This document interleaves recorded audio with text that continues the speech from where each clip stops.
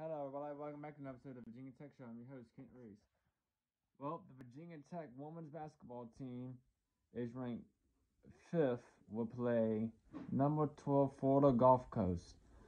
Virginia Tech finished 23 and 9 and 13 5 in the ACC. Florida Gulf Coast is 29 and 2 and 15 and 1, and they are the ASUN championship champions.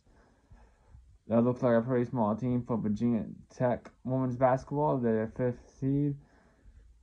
That we have pretty good strength schedule. Will be we play we beat North Carolina twice, once in our stadium, one in the ACC tournament, and we, and, and we beat um Duke twice and Georgia Tech. That's our pretty good schedule.